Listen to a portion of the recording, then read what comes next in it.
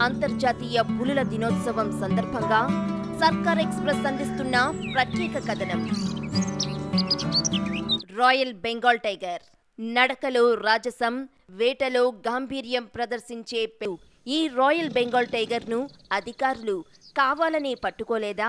లేక ఇతర కారణాలేమైనా ఉన్నాయా? అని క్షుణ్ణంగా పరిశీలిస్తే అనేక వాస్తవాలు వెలుగు చూస్తున్నాయి జూలై ఇరవై తొమ్మిదవ తేదీన అంతర్జాతీయ పులుల దినోత్సవం సందర్భంగా సర్కార్ ఎక్స్ప్రెస్ అందిస్తున్న ప్రత్యేక కథనం.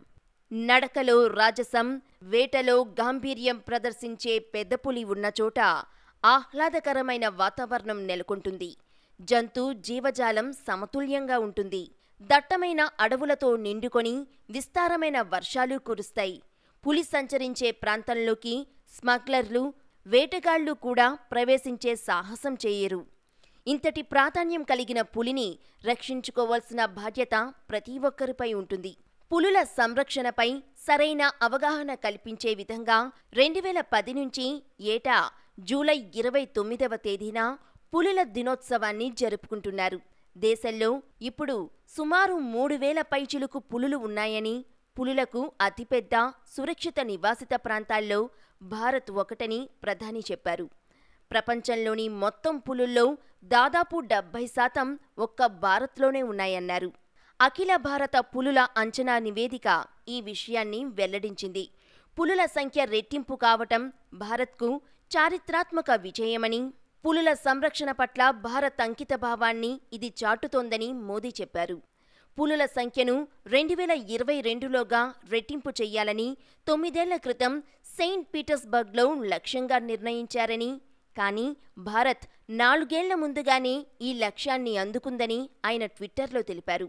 సకాలంలో వానలు పడి పంటలు పండాలంటే అడవులు బాగుండాలి. అడవులు బాగుండాలంటే అందులోని జంతుజాలం జీవ వైవిధ్యం సమతూకంలో కొనసాగాలి. ఇందుకోసం అడవుల్లో పెద్ద పులులుండాలి. ఎందుకంటే అడవికి పెద్దన్నలు పెద్ద పులులే. అడవుల్లో జీవ వైవిధ్యానికి పెద్ద పులులే కీలకం కాబట్టి పెద్ద పులులను రక్షించుకోవాల్సిన అవసరాన్ని చాటి చెప్తూ రెండు వేల పదవ సంవత్సరం నుంచి ఏటా జూలై ఇరవై తొమ్మిదవ తేదీన అంతర్జాతీయ పులుల దినోత్సవం జరుపుకుంటున్నాం. పులి ఉంటేనే అడవి బాగుంటుంది. అడవిలో రకరకాల మొక్కలు గడ్డి జాతులపై ఆధారపడి శాకాహార జంతువులు ఉంటాయి. వీటిపై ఆధారపడి పులులు జీవిస్తాయి. శాకాహార జంతువుల వల్ల మొక్కలు గడ్డి జాతుల మధ్య బ్యాలెన్స్ అవుతూ ఉంటుంది. అలాగే పులుల వల్ల శాకాహార జంతువుల సంఖ్య బ్యాలెన్స్ అవుతూ ఉంటుంది. దీనివల్ల పెద్ద పులులు ఉన్న ప్రాంతాల్లో అడవి అన్ని రకాలుగా జీవ వైవిధ్యంతో పచ్చగా ఉంటుంది. పెద్ద పులులతో కలకలలాడే అడవులు వాతావరణ మార్పులను నివారించి సకాలంలో వర్షాలు కురిసేందుకు మనకు కావలసినంత ఆక్సిజన్ అందించేందుకు సహాయపడతాయి. పులుల సంఖ్యను పెంచటానికి వాటిపై ప్రజల్లో విద్యార్థుల్లో అవగాహన కల్పించేందుకు ఈ అంతర్జాతీయ పులుల దినోత్సవాన్ని జరుపుతున్నారు. పిల్లల్ని జూకి తీసుకువెళ్ళినప్పుడు ఏ జంతువును చూసినా ఆనందపడతారు. పులిని చూస్తే మాత్రం షాక్ అవుతారు. ఆ గంభీరమైన చూపులు నల్లటి చారలు రాచటీవీ ఒలకబోస్తూ అటూ ఇటూ పులి తిరుగుతుంటే అందరూ దాన్ని చూసి ఎలా ఉందో చూడు అనుకుంటుంటే అది చూసిన పిల్లలు మాత్రం థ్రిల్ ఫీల్ అవుతారు. అంతరించే జంతువుల జాబితాలో ఉన్న పులులను కాపాడే బాధ్యత మనందరిది. వరల్డ్ వైల్డ్ లైఫ్ ఫౌండేషన్ ప్రకారం ప్రస్తుతం ప్రపంచంలో ఉన్నది మూడు వేల తొమ్మిది వందల పులులే. వాటిలో డెబ్భై శాతం మన ఇండియాలోనే ఉన్నాయి. మంచి విషయం ఏమిటంటే ఇండియా నేపాల్ చైనా భూటాన్ రష్యాలో పులుల సంఖ్య క్రమంగా పెరుగుతోంది. అయినప్పటికీ వాటి సంఖ్య చాలా తక్కువేనని చెప్పాలి. భారతదేశ జాతీయ జంతువైన పులి రాచటీవీకి పెట్టింది పేరు. పులి ఎప్పుడూ శత్రువు ముందు తలవంచదు దాని అడుగులు ముందుకే పడతాయి తప్ప వెనక్కి వెళ్ళవు. ప్రాణాలను పులి లెక్క చెయ్యదు. అందుకే అడవుల్లో పులి స్థానం సుస్థిరం. పులులకు సంబంధించిన కొన్ని ఆసక్తికర విషయాలు ఇప్పుడు తెలుసుకుందాం. పులులు పుట్టాక ఎక్కువ కాలం తమ తల్లిదండ్రులపై ఆధారపడవు. అవి తమ కాళ్ళపై తాము నిలబడటానికి ఇష్టపడతాయి. రెండేళ్ళు రాగానే విడిగా వెళ్ళిపోతాయి. మగ పులులకు మూడేళ్ళ తరువాత ఆడపులులకు నాలుగేళ్ళ తరువాత సెక్సువల్ మెచ్యూరిటీ వస్తుంది. పులులు ఇరవై ఏళ్ళ దాకా బతుకుతాయి. షాకింగ్ విషయం ఏమిటంటే పులి పిల్లలు పుట్టినప్పుడు వాటికి కళ్ళు కనపడవు. తమ తల్లి నుంచి వచ్చే వాసనను బట్టి తల్లిని ఫాలో అవుతాయి. పులి పిల్లల్లో సగం ఆకలితో చనిపోతాయి లేదా చలికి తట్టుకోలేక చనిపోతాయి. పుట్టిన రెండేళ్ళలో ఇలా చాలా పిల్లలు చనిపోతూనే ఉంటాయి. వరల్డ్ వైల్డ్ లైఫ్ ప్రకారం చాలా పులులు పిల్లలుగా ఉన్నప్పుడే చనిపోతున్నాయి. ప్రతి పులికి చారలు వేరువేరుగా ఉంటాయి. మనుషుల్లో ఏ ఇద్దరికి ఒకేలాంటి వేలిముద్రలు ఉండనట్లే ఏ రెండు పులులకు ఒకే రకమైన చారలు ఉండవు.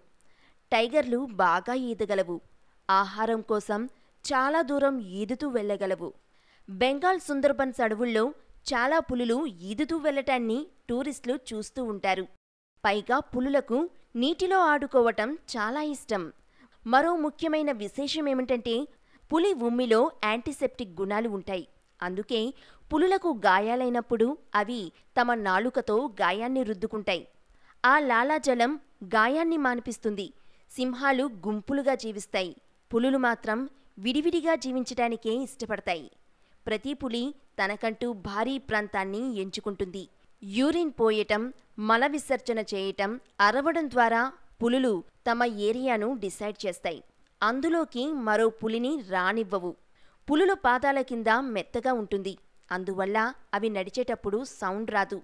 ఫలితంగానే అవి వేటాడేటప్పుడు సైలెంట్గా వచ్చి ఉరుకుతాయి. పులులు గంటకు అరవై ఐదు కిలోమీటర్ల వేగంతో పరిగెడతాయి. రాత్రిళ్ళు మనుషుల కంటే పులులు ఆరు రెట్లు బాగా చూడగలవు. పులులు పగటివేళ కంటే రాత్రివేళ బాగా వేటాడగలవు. అలాగని అవి పగటివేళ వేటను మిస్ చెయ్యవు. పులులకు ముందు కాళ్ళ కంటే వెనుక కాళ్ళు ఎక్కువ పొడవుగా ఉంటాయి. ఫలితంగా అవి ఒక్కో జంపుకి ఎక్కువ దూరం గెంతగలవు. అలా గెంతుతున్నప్పుడు వాటికి ఉండే పొడవైన తోకతో అవి బ్యాలెన్స్ చేసుకుంటూ అటూ ఇటూ మలుపులు తిరగగలవు. బాగా పెరిగిన పులి నూట నలభై కేజీల నుంచి మూడు వందల కేజీల దాకా ఉంటుంది. ఆడపులి ఒకేసారి ముప్పై ఐదు కేజీల ఆహారాన్ని భోజనంలా తినగలదు.